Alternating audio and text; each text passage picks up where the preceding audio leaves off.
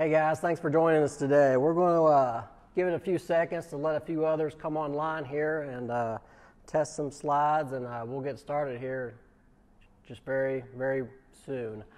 Go ahead and let you know a little bit about myself. My name is Scott Harp. I'm actually a wildlife biologist for the agency. I'm what's known as a regional coordinator, so I oversee one of the department's uh, five planning regions for the wildlife division. I've been with the agency for working on 19 years now as a wildlife biologist. So go ahead and getting into it today. We're going to talk about some of our wildlife management areas and the opportunities that they provide across the state. Um, if you guys don't know, you're probably familiar with what's called a program coordinator. We have guys that work for the wildlife division who oversee our bear and our deer and our turkey and things like that. But we also have regional coordinators that oversee these five regions of the state. And these are the regions that we have established that focus on physiographic regions roughly of the state. And you have one of me, a regional coordinator, who oversees that region. Now, across the state, we have about 89 wildlife management areas, accounting for over half a million acres of, of public property to use for, for access and recreation. Uh, this, this graphic up here showing the red WMAs doesn't even include our national forest or our military reservations or LBL or anything along those lines. This is just the state's WMAs, which we call wildlife management areas, and I'm also including what's known as habitat access areas um, or hunting access areas. Um, so the wildlife management areas are basically areas that we own or operate and we, we open up for public use and hunting and wildlife viewing and things of that nature. But the hunter access areas are, are cooperatives that we have with private landowners to where we can work into a cooperative agreement to allow hunters and, and sportsmen to access those areas as well. Uh, but when you include all of the access across the state that, that's provided for, for public recreation, you come up to about one and a half million acres of, of available property. Now, specifically, when we talk about our wildlife management areas, the, the first priority is always public access. We want to we want to have these properties open for you guys to come out and enjoy and provide good opportunities for you to enjoy. Um, and secondary to that is, is our main mission is to manage that habitat. so we want to take what's there and make it better so that not only do you guys get the benefit of it immediately, but hopefully through, through conservation practices, it'll be there for our grandkids 30, 40 years from now. Uh, as an instance in this picture right here, this is a, a, large 100 acre field at Big Rivers WMA, which was when we, when we first received that several years ago was just a pasture ground. It had very little wildlife value, but now that has been converted into a short grass prairie. Uh, it's great for bobwhite quail, for uh, nesting songbirds, uh, a, whole, a whole range of species. We do numerous types of habitat practices on our wildlife management areas. uh, prescribed burning is one way. Uh, when we're looking at, at, more open type habitats, we use prescribed burning a lot to set back succession. And what that means is to basically kill trees and to kill larger types of, of growth to set it back to that, that lower grassy type growth. That's great for turkey nesting, for, for dropping fawns in, and things like that. Uh, and we look at in our open lands something that's, that's really taken a new initiative right now is pollinator habitat. You see the forbs here on the right, the wildflowers. Those are great for our pollinating insects.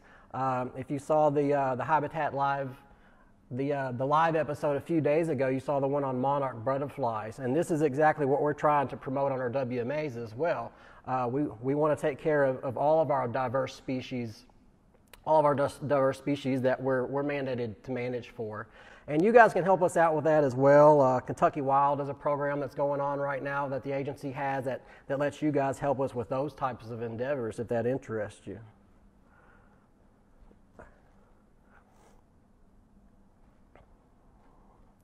So we also like to encourage natural vegetation. Uh, anytime that we can, we like to encourage natural growth on our WMAs. Uh, we do plant a lot as well, but the natural vegetation usually has a better, a better, uh, a more diverse nutritional base to it, a nutritional value that will withstand the different uh, flooding periods or, or weather conditions that may that they may sustain over an extended period of six months or so. So if we can encourage natural growth, like you see on the left here, we always like to do that. But food plots is also something that we like to provide on our WMAs. Uh, we like to say that food is not necessarily limiting on most of our WMAs, but when we make plantings like this for food plots, they make great wildlife viewing areas. If you guys are out taking a hike and want to see a, a, a flock of turkey or something like that, they're great places to focus on. They're also great areas to concentrate animals for hunting, for hunting opportunities. Uh, and you get into more of a, a, a, wooded type habitat, a forest type habitat, like you're going to see in East Kentucky, we like to focus on, on that timber stand management, whether that be prescribed fires in there. We'll sometimes run a fire through those, uh, those wooded habitat types to, to remove that leafy duff layer. And what that does is encourage that undergrowth to jump up, provides more food and more habitat for the animals that are in that, that habitat. On the right, you see a, uh, a cultimulcher here, right here, which is going through and removing some mid-story. Some of our woods will have some, some mid-story component of like solid maple, which is not providing a lot of habitat, a lot of food for our wildlife, for our native wildlife. So we like to go in and, and try to remove some of that, that mid-story that, that's not providing, not providing that benefit.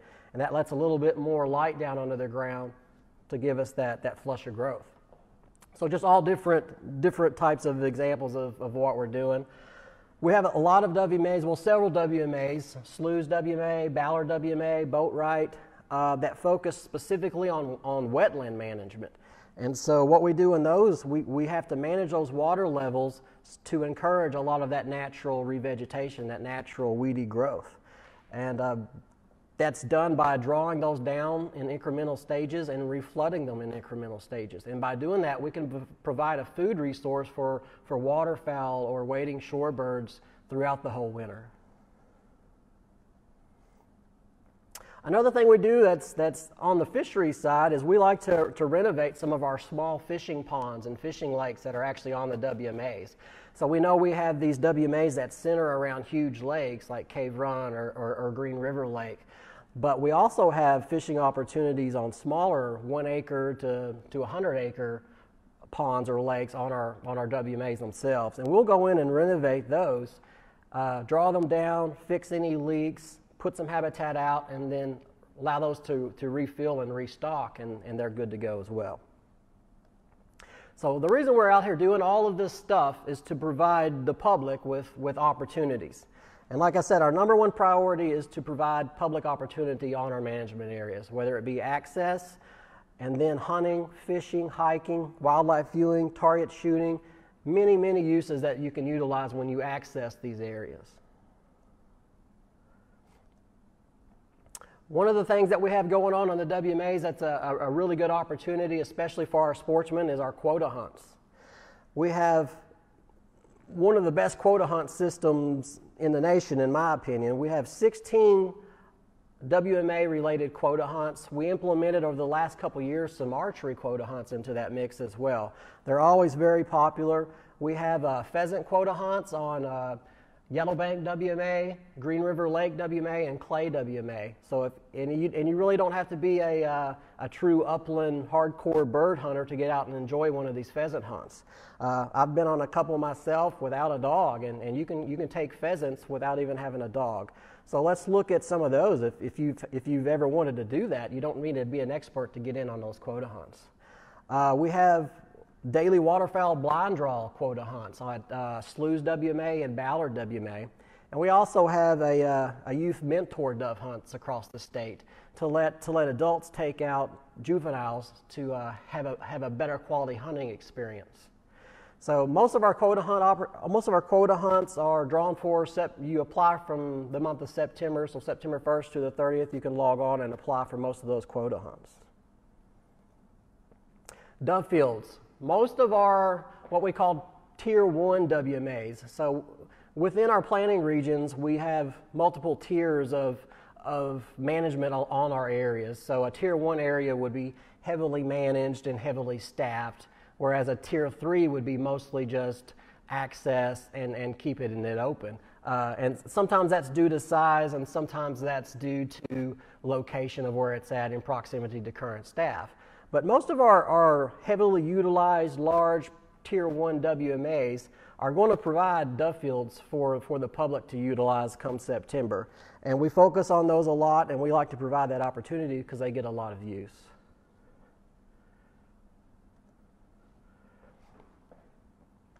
Another thing that our WMAs like to provide, uh, or that we do provide with our WMAs, is mobility impaired access. So we have 15 areas across the state where if you have a mobility impaired permit issued by the agency, you can, you can, have, you can have enhanced access on those areas through mechanized means. Um, and it's not the whole area. There's certain tracks on each area where you're allowed to use these, these uh, enhanced, enhanced access measures. But it's also something that we, that we try to promote and let, let our mobility impaired hunters know that it is available to them if, if they're having trouble getting around. The first thing you need to know when we're doing a, uh, when we're talking about WMA information is where are our WMAs? Now I popped up the map there that showed all that red and all that stuff, but we need, we need more information. And our website is always going to be the first thing that you should go to for more information. It's very simple. It's only two clicks. You go to Hunt, Public Land Search. That's going to bring up every WMA or every co- cooperative hunting access property that we have in the state. It's going to bring up not only the WMAs, the hunter access areas, it's going to bring up Daniel Boone National Forest, LBL, everything. And these are really great because it gives you a really quick one stop shop and it tells you exactly what's going on at these individual areas. So, for instance, we look at Barren River Lake w, WMA here. Allen and Barren counties, 8,700 acres. But the main thing you notice is that phone number right there. As much information as you can glean from these websites, you're still probably going to have a couple questions. This phone number right here goes directly to the area manager for that property. If you want to know specifically what's going on at Barren, call that number. The biologist there or the foreman there will answer that call and give you all the information you need specifically for that property. So I encourage, your, I encourage you to make your first stop to the website here and uh, do, your, do your background information on what the area offers. Barren here offers, it offers hunting, fishing, hiking, boating, wildlife watching, and mobility impaired access. So you have all that information right there. The other good thing is it links to a more information and will take you to an area map. So right from here you can go straight to the area information it lists all the regulations that you want to know for that, for that WMA, and then you can click on the viewable map right there, and it's going to bring you up a map of Barren WMA. So this is always going to be your, should be your first stop whenever you're looking for a WMA or doing research on a WMA, and your next stop should be that phone number. So getting into the five specific regions that we have in the state. We started out way out west in the Purchase region in the Jackson Purchase, more of that Mississippi alluvial plateau type area. And it's, it's really a different world out there with their wetlands. And if you've never been, it's, it's a good visit. We'll focus on Ballard WMA just for a minute. Uh, 8,000 acres there in Ballard. And I'm sure a lot of our sportsmen are familiar with Ballard. But I wanted to just pop up the map real quick and show you how it sits exactly on the Ohio River. Ballard lives and dies by that Ohio River and its flood stages and what's occurring. All of this is a wetland. Well, the vast majority of this is a wetland system. Uh, and as such, Ballard is known pretty much across the state for waterfowl. They band thousands of waterfowl there every year uh, through, their, through their rocket netting or their, or their, or their uh, waterfowl traps. They uh, collect those ducks and geese and they will band them and release them and track them for, for data. Um, so thousands of waterfowl run through that area. And that, like I said, that's pretty much what Ballard is known for, is providing that opportunity for, for hunting. They have that, that daily blind draw that allows, or that daily unit draw that allows individuals to come out and, and heavily utilize that resource. Uh, and again, Ballard lives and dies by the Ohio River. And it's not the only thing it's known for is waterfowl. Ballard still is known and is still our highest, our highest uh, sought after quota hunt for deer in the state. Uh, we get more, more uh, applicants for that quota hunt than any other. And with the river out like this, you're going to say, well, there's no opportunity there. Well, there is. There you could also, like right now, the river pretty much, the area pretty much looks like that right now. And we have guys out who are uh, bow fishing off their boats right now. So that's a good resource. There's always something to do out there. The Green River region here is in the western coalfield portion of the state. That's my region. That's the one I like to call home. And I'm going to start out with uh, Big Rivers WMA. Big Rivers is also a state forest, so it's jointly owned by Fish and Wildlife and Kentucky Division of Forestry. It's one of our newer WMAs, 7,500 acres in Union and Crittenden County. We've only had it for uh, six or seven years. I would argue that Big Rivers WMA is probably the most scenic place in our state as far as, as far as WMAs go. You have a beautiful view. This is what we call the overlook. It's a viewing platform that we have built out on the overlook. It, looks it overlooks the bend of the Ohio River across from Cave-In-Rock. Uh, and on the right, you'll see another, uh, you see another uh, what we call Caseyville Bluffs, which is a sandstone formation which is a really neat geological feature there that runs for a couple miles on the WMA. So, very, very neat, very uh, scenic type of property if you want to get out and take a walk. But make no mistakes about it, Big Rivers WMA is known for deer and turkey. Uh, some of the best deer in the state, the best, the best deer hunting in the state, and some of the best turkey hunting in the state. It's number two in the region for turkey harvest and it's, it is by far our most sought after uh, quota hunt. Uh, Big Rivers WMA actually implemented the first archery quota hunt for, for whitetails in the state, and it's been a huge success. That allows us to maintain the quality of the animals there and to also provide those, those quota hunters with a, with a very high, a very uh, quality experience. Peabody WMA is another area that's in the Green River region. It's our, large, our, larger, our largest, sorry, our largest state-owned area. It's in Hopkins, Muhlenberg, and Ohio counties at just over 45,000 acres. Known for, uh, for quail management, for small game management. Peabody is reclaimed strip mines, so that's what it has to work with, is that, that early successional type of habitat. And for the last decade, they've heavily pushed it and done a great job with it. That's not only benefited the, benefited the quail, but it's benefited the rabbit, the rabbit hunters, and also those uh, what we call state wildlife action plan species, which are focused for grassland habitats, such as Henslow sparrows, dickcissels, Bell's vireos, things of that nature. But, but Peabody is amazing for fishing. I mean, I lived there, it was my backyard. There are over 300 lakes or ponds on, on Peabody that are one acre of size or larger. Uh, that is a ton of fishing opportunity, and, and there are some great fish there. Uh, you, can, you can fill a cooler with panfish, plenty of catfish, plenty of bass, and like I said, plenty of opportunity.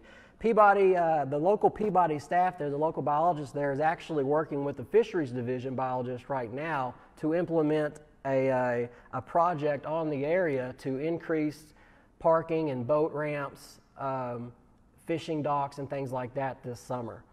So that'll be a big project going on hopefully this summer at Peabody once we, we lift some restrictions. The bluegrass region, we have uh, what we call the Golden Triangle. It holds about two thirds of the state's population and probably the lowest number of public available WMAs or public accessible hunting lands. And so we have to, we have to maintain those and, and monitor those in a special way. And one that I wanted to highlight here was the Kentucky River WMA in Owen and Henry counties. It's 3,600 acres. If we pull up the map on that, again, this is just the map that's linked onto that website I showed you, our website. So it's, it's your first and best resource. You see that we have several different tracks. And that's great for, for where this is in the region of the world because it helps people spread out. And you can also see that there's a mobility impaired unit on the south end of this, of this WMA. Um, and it splits both sides of the Kentucky River there. So it really helps people spread out and, and, uh, and move around. And we want to remind everybody that as you're using our, our WMAs or using your WMAs this weekend to, uh, especially for turkey season. And we expect a good turnout this weekend, just to just to have have good respect for your neighbors, for your other hunters on our on our public properties, and also for those property boundaries. Uh, Kentucky River WMA, it's got a lot of diversity. Uh, it's in those, it's in those uh, lower bottomland river bottoms of the Kentucky River, so it's really rich. It has a good, a, a good uh, plant component. It's heavily managed. There are a lot of hunting opportunity there as far as the, the habitat management to do, the food plots that they put out. It's also one of the best in the state for uh, dove fields. I mean, I don't know what they do out there on their dove fields, but if you want a good, good, a good dove field, West Kentucky WMA generally has some of the best dove fields in the state. And you can't, you can't not talk about Kinman Lake up there. Kinman Lake was uh, recently opened several years ago and is one of the one of the best places in the state right now on a WMA to get a to get a trophy largemouth bass. Northeast region of the state, so we're moving into a we're moving into a more wooded type of, of habitat here. Uh, very steep, uh, mostly like we said, Appalachian Mountains, woodlands. We'll focus on Clay WMA. Clay is in Nicholas, Fleming, and Bath counties, and it's almost 9,000 acres. Clay, I like clay because it has a very diverse mix of habitat types. We have not only open openlands, open systems here that we, that we manage through prescribed burning, uh, and, we, and we get these, these native type prairie situations back, which we manage for those early, early successional type of species. But you also have this intense forest land management to where we go in and, and we do manage for forest openings or we manage for savanna type habitats and things like that. And due to that diversity that you see on clay, you have a diversity of species use. I mean, clay is a great WMA to go to if you want turkey, deer, uh, bobcat for trapping. I mean, just about anything you can hunt, you can pretty much find on clay. And that's a result, a lot of that, not only of where it's at, but of that, of that, that diverse habitat mixture. Another neat thing about clay is they have a habitat map online. And that, that you can find that, uh, it connects straight to where you would find the WMA map.